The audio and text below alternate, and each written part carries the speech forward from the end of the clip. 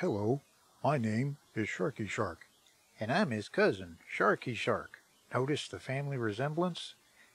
Anyway, we're friends of the Chartreuse Leprechaun, and we live in the world of Stranded Deep. We actually live in the deeper water between the islands, but we like to visit the shipwrecks in the shallows and cruise around looking for easy meals.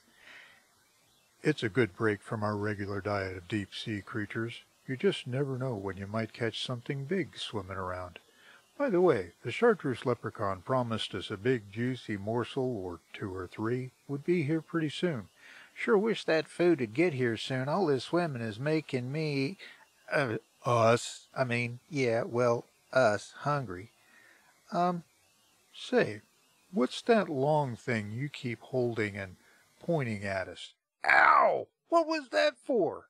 So, friends of the chartreuse leprechaun, you say? Did I go the wrong way? I did. Oh, that's fun. I just went 900 meters in the wrong direction. That was where we wanted to go.